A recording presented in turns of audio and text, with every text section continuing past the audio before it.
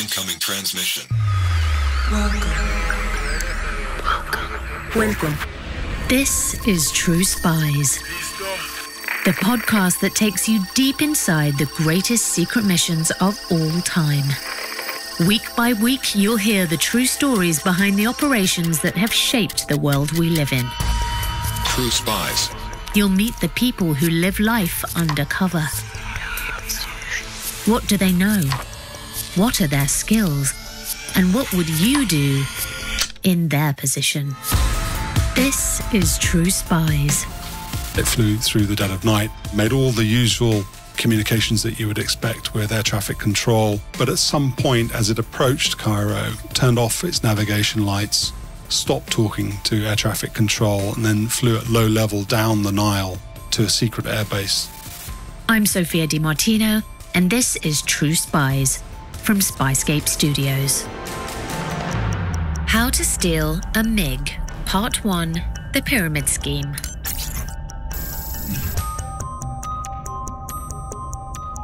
Egypt, the late 1970s. In the dark black stillness of a September evening, a covert operation is underway. An unidentified aircraft is flying low over Egyptian airspace. The only clue to its presence is the distinct shrill noise of the engines. A trained ear would recognize it instantly.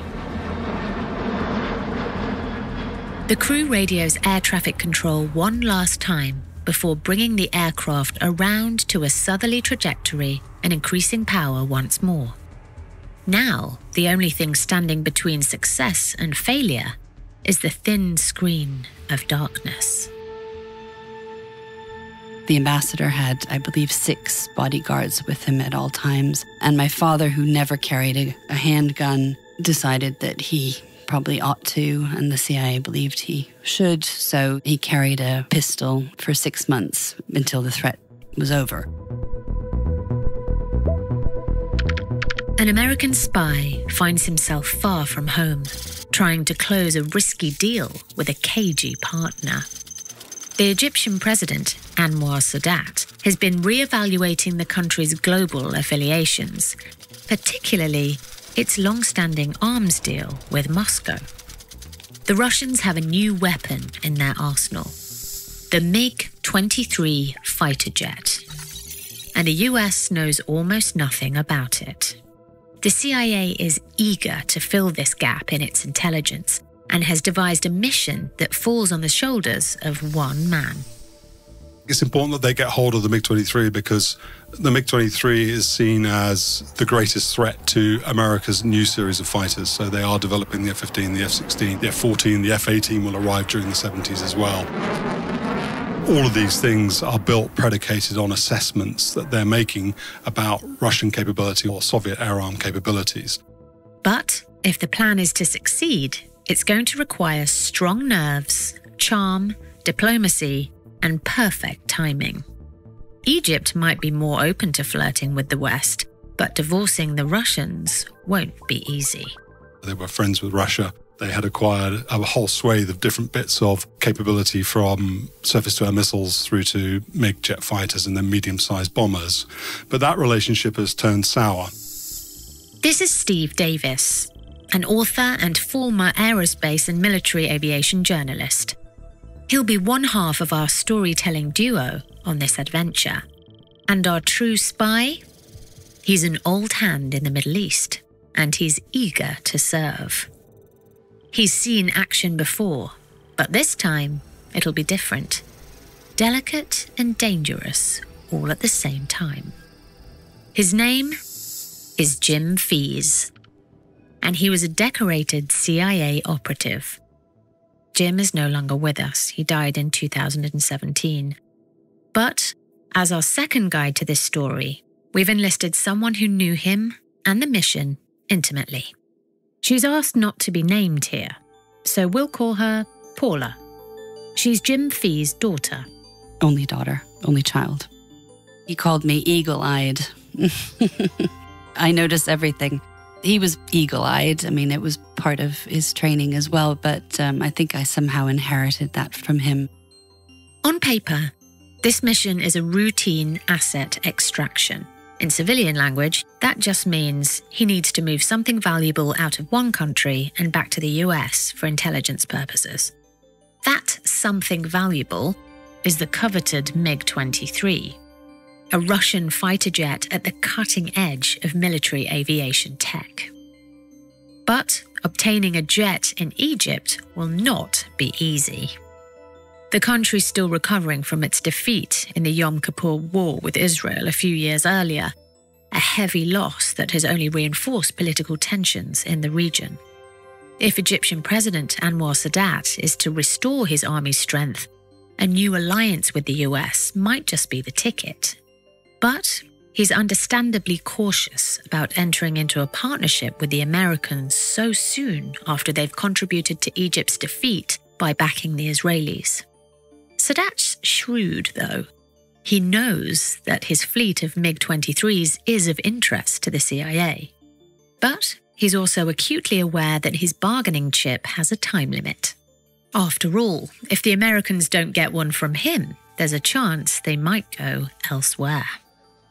We're at a time in the, the mid to late 1970s where the Cold War is at its height. Uh, the US Air Force and the US military in general have a very expensive and well developed foreign military acquisition program whereby they are going around the world, they're going to bazaars, they're going to crash sites, they're going to any locale where they think they can get access to Soviet made or Russian created military technology to bring it home and then to exploit it.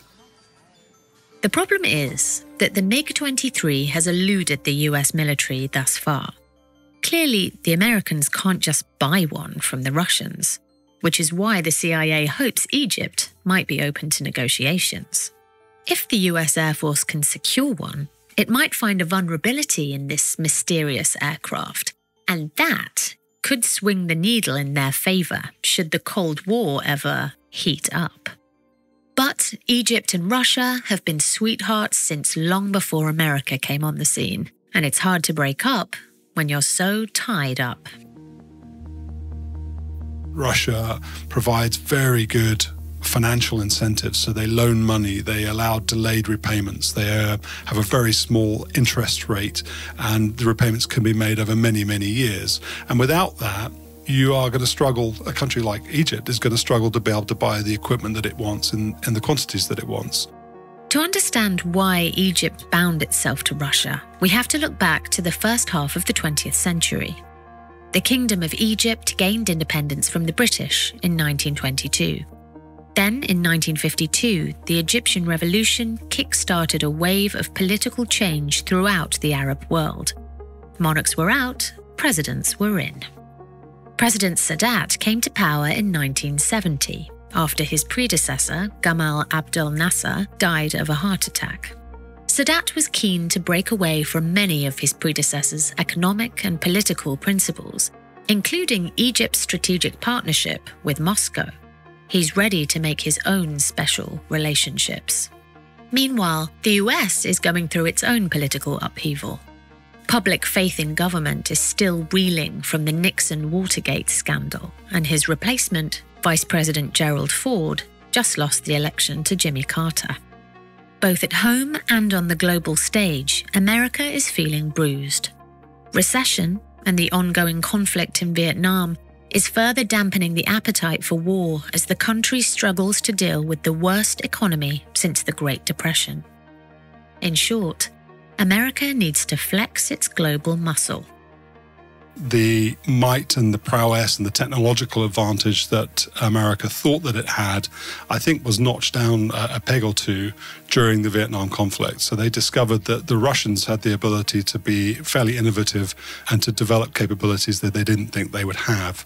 So they're coming off of the back of that experience and they're probably a little insecure. This is where Jim Fees comes in. Jim has been set the task of going to Egypt and acquiring a MiG 23, which is one of the most modern and arguably most enigmatic of the Russian jet fighters in terms of American military knowledge about it being pretty much non existent. Despite being drafted for the military, Jim's path to the Middle East didn't begin in active service or through years of climbing the ranks.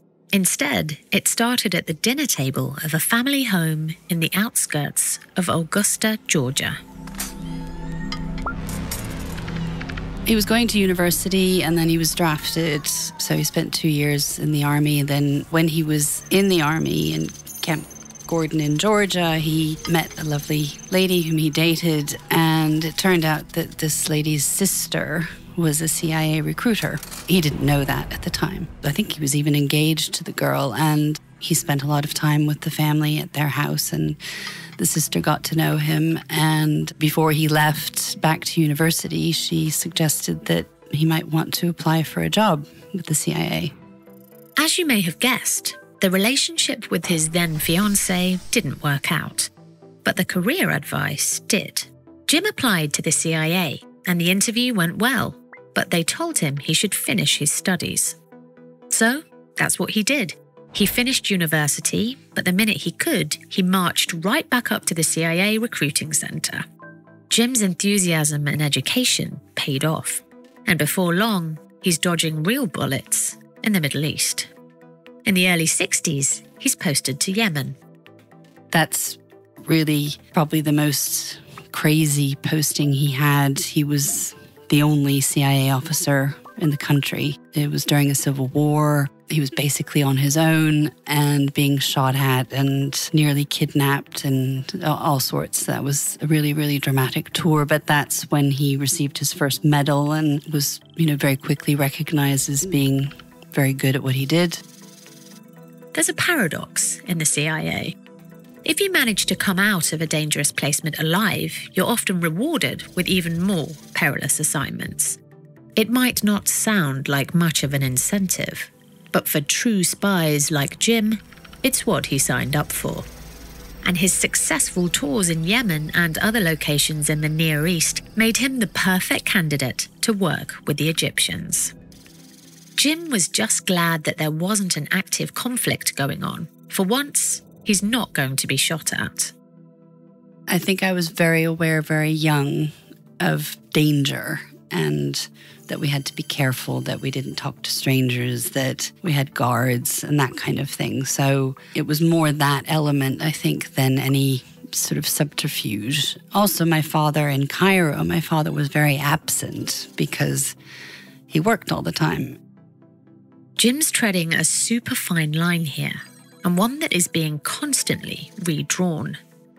After two decades, much of the Cold War is being fought behind closed doors. There's a secret race going on between Russia and the US to enlist as many countries as possible onto their respective military supply chains.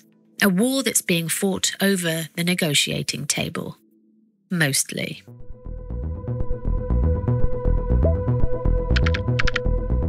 It's almost as though the world is a playground for the United States and, and for Russia, and they're going into the playground and trying to bribe the other children in the playground with their sweets and with their toys, and if not, bully them by taking their lunch money and beating them up. The two superpowers, with a mixture of threats and backhanders, are trying to persuade Egypt to come over to their side. They're lining up alliances for a moment in the future when they'll really be needed. The Russians were particularly shrewd with their offerings. They're seducing enemies of the US with attractive military packages. This leaves the Americans with two options compete for the same government spending dollars, or find the weakness in Soviet hardware and exploit it. It's difficult to feel sorry for any nation that supplies its military hardware to another nation because that's the nature of relationships. They ebb and flow. They, you know, they go one way and then they go the other. The Russians knew they were taking a risk in the Middle East. Sentiment toward the Americans was changing, which made the potential for their hardware falling into enemy hands increasingly realistic. But they calculated that by selling slightly inferior versions of their MiGs to these third countries, they'd still maintain some advantage, should one be seized. Which brings us back to Anwar Sadat's defeat in the Yom Kippur War a few years earlier in 1973. One of the reasons that they were comprehensively beaten during Yom Kippur was because the Israelis had the F-4E Phantom II, and that was the premier fighter that was available to Israel at the time, and it was one of America's premier fighters. Israel was under attack from Syria in the north and Egypt to the south. It should have been overwhelmed, but its victory shone a light on the secret global arms race happening in the shadows. President Sadat had just seen what US fighter planes were capable of firsthand. He realized that no amount of generous repayment plans matter if you're fighting a foe with superior technology. US Secretary of State Henry Kissinger spotted an opportunity. Kissinger wanted him there not to recruit agents, but to essentially facilitate the relationship between the United States and Egypt and, you know, to make them friendlier with the US versus the Soviet Union, who had been their previous supporters. Kissinger knew Jim Fees had been stationed in Jordan. He also knew the country was being ravaged by civil war. It was such a high risk environment, his wife and daughter had been evacuated, leaving Jim there alone and likely very open to being posted to somewhere else. Somewhere like Egypt. It does appear that this wasn't just happenstance, uh, that Jim didn't just go to Egypt as station chief and, you know, sort of work from the ground up, let's say, to develop the relationship. It does look like the United States at a political level was talking to Egypt, and there was agreement that the relationship needed to be developed and could be beneficial for both parties. Jim was brought on to seduce Egypt and bring her over to the American side. He quickly accepted and took up his new position as chief of station in Cairo, bringing his wife and five year old daughter, Paula, with him. I didn't think that much of it at the time until my mother announced that I had to have something like 24 vaccinations before going. And so she bribed me with my favorite foods for a few weeks while I got all of the different vaccinations. Jim knew full well that going to Cairo meant more secrets, more cover stories, and the stresses that come with living a double life. What Paula saw on the outside was far from the full story. But there are always tells. Tells that an eagle eyed five year old might even pick up on. I think I knew instinctively, at least in Egypt, it was quite obvious that he was important because we had a very big house for a small family. We had guards outside the gates. I had, well, we had a driver who carried a gun. And so it was I suppose, pretty obvious to me that he was important. Let's put it that way. Important he may have been, but Jim knew that the key to achieving anything, especially overseas in politically sensitive locations, is a strong network. Kissinger, back in the US, may have opened the door to some of Egypt's high ranking politicians, but Jim knew that that wouldn't be enough. If he was going to secure a MiG 23, he was going to need to get closer, much closer, to the people that mattered. Fortunately, this is the 1970s. You may have thought that Connery's martini swilling Bond was using a bit of creative license. But it turns out even diplomats in Egypt aren't adverse to a cocktail with a maraschino cherry floating in it. My mother had a binder that I found years ago now and we laughed about it because these were expenses, if you will, that they could claim. But it was a list of, you know, babysitters for me because they had parties to attend to. And it was literally every night. And my father used to tell stories about, you know, how much he hated the Ramadan period because they would be invited to the breaking of the fast, the dinners, but they'd be invited to two or three a night. So they would literally go from one dinner to the next dinner to the next dinner and come back at, you know, three o'clock in the morning, four o'clock in the morning. Plus, there were a lot of, you know, American dignitaries would come out, the senators or the congressmen or whomever. and they regularly come out on visits. And so my parents would have to host dinners or cocktail parties for them. So, yes, that element of, you know, martinis and cocktail parties was very accurate. Jim was working as hard as he could. And yes, working the room is still working to get the ear of someone with the direct authority to give him what he wanted. Fortunately, Jim's ambition, it turned out, was only matched by his charm and wit. No one could tell a story like Jim could, and it earned him some important friends, much sooner than his bosses imagined. He was welcomed into the sort of inner circle quite easily, I think. You know, they were cautious, certainly at the beginning. But he had a very good relationship with Sadat, the president, with Mubarak, the vice president. Sadat and Mubarak knew that they held the keys to Egypt's trove of Russian fighter jets. They'd warmed to Jim and were starting to trust him. But Sadat would need a little more than a well mixed old fashioned to be convinced to hand over a MiG. Sadat had been eager to wind down Egypt's strategic partnership with Russia, but he wasn't going to simply roll over for the Americans. Jim knew all of this. So he wouldn't just come out and ask for one, would he? He does ask. He's asking because you'd be stupid not to, and you need to test the water. You need to see what the response is like. You need to understand what the objections are. Is it a conversation? Is it not a conversation? The response a firm but polite no.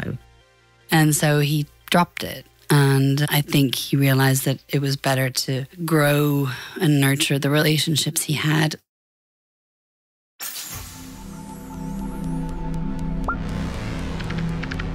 Jim was about to receive another, much more pressing piece of news. President Sadat's foreign policy wasn't going down well with a certain problem neighbor. Colonel Gaddafi was frustrated by Egypt and Syria's bungled efforts during the Yom Kippur War with Israel. Sadat had rejected Gaddafi's offer to cooperate against the Israelis. Worse, he was considering a peace treaty, which only further enraged the Libyan leader. During the 1970s, hostages were becoming an increasingly common bargaining tool among some of America's enemies in the region. So any American official camping out in Gaddafi's neck of the woods was a potential target.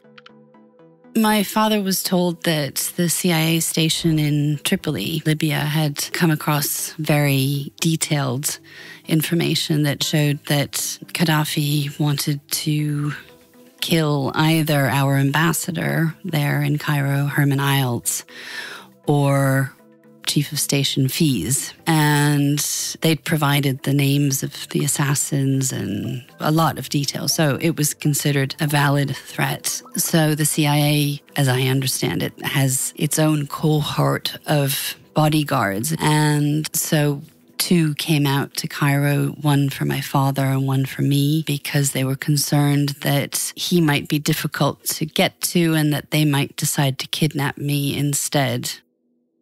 Jim was no stranger to serious heat. He'd been a high profile American in the Middle East for long enough to know it comes with consequences. But this new threat couldn't have come at a worse time. He was about to implement a new plan to secure access to a MiG 23. The last thing he wanted was to put his family in danger, even if that's what it took to secure the asset.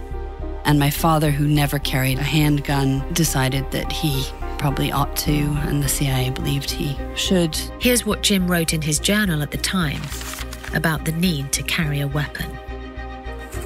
After some renewed practice at the Egyptian Presidential Guard shooting range, I carried a 9mm 16 shot Browning automatic with me 24 7 for six months, while worrying about the safety of my wife and my young daughter he was in the French elementary school in Cairo. So he carried a pistol in his back for six months. The ambassador had, I believe, six bodyguards with him at all times. Later, he wrote another journal entry explaining how it was resolved.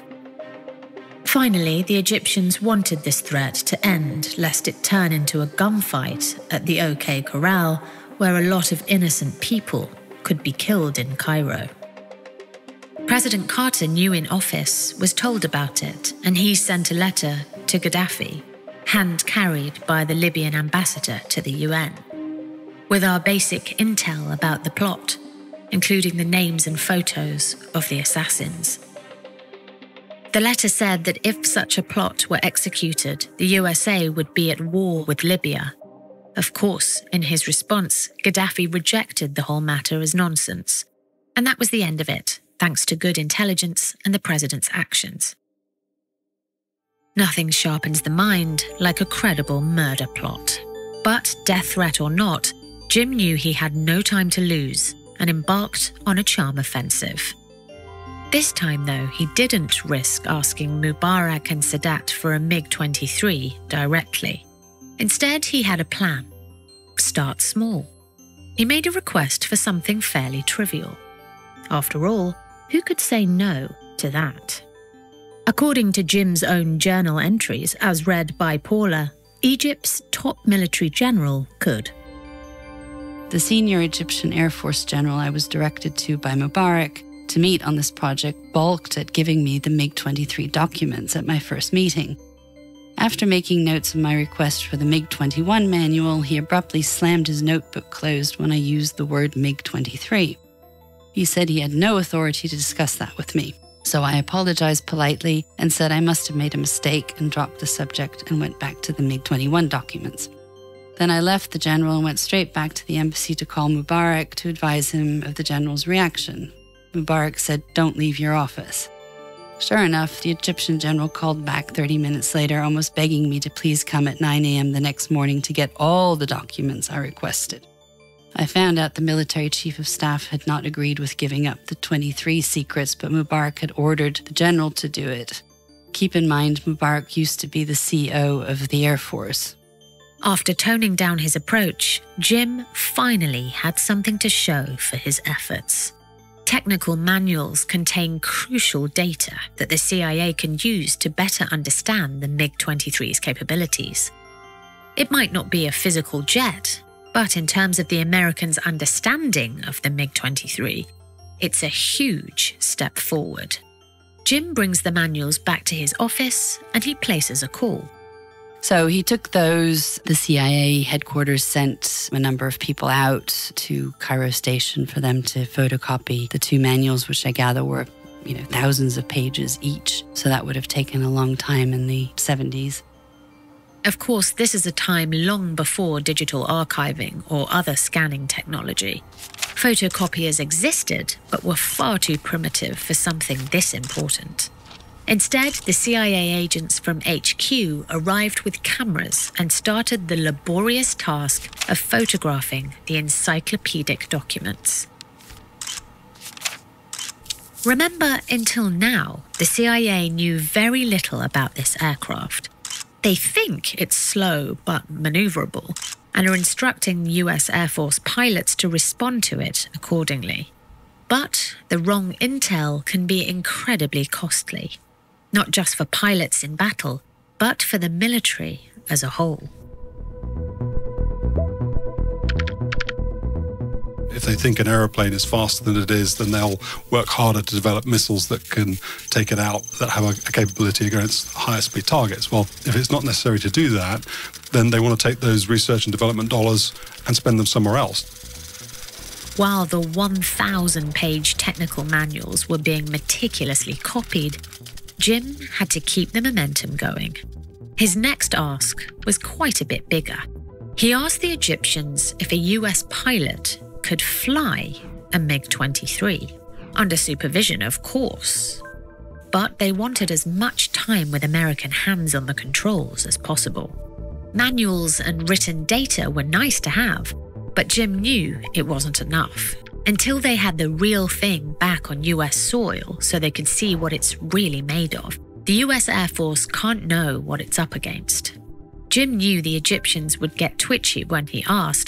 After all, they had an agreement with the Russians that expressly forbade them from sharing their hardware with other nations.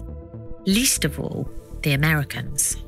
Yeah, he ratchets up the level of expectation. So, so the next thing he, he asks for is access to the MiGs to go and have a look at them, and for an American pilot to come along, jump in the back seat of one of them, and, and fly and see whether or not that experience is informative. To Jim's surprise, his plan to start small appears to have worked. After handing over technical documents, his request for a test flight suddenly doesn't seem like so much of a leap. He quickly puts a call in to his superiors in the US, and a pilot is dispatched from an undisclosed location. The US Air Force has pilots specifically trained in flying enemy assets. It's a secretive job which requires a high level of discretion.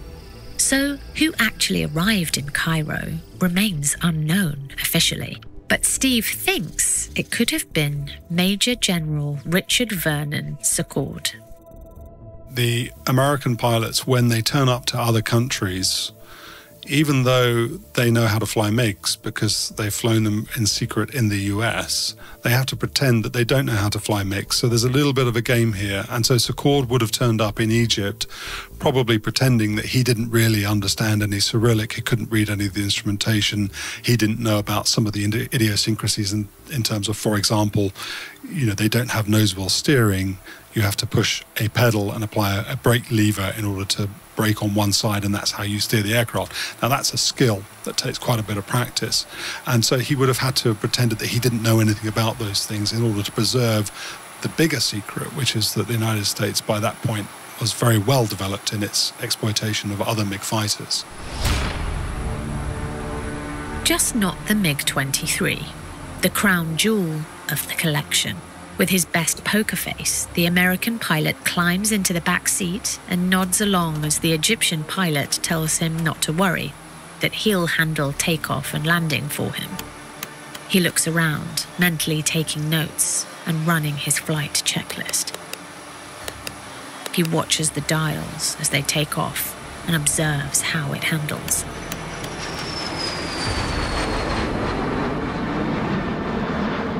Once in the air, the pilot probes his Egyptian counterpart with key performance questions.